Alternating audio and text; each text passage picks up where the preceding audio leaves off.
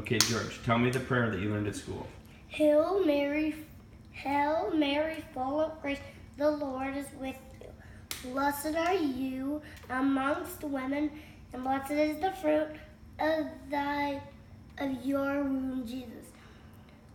Holy Mary, Mother of God, pray for our sinners, now and at the hour of our death. Amen. Great work.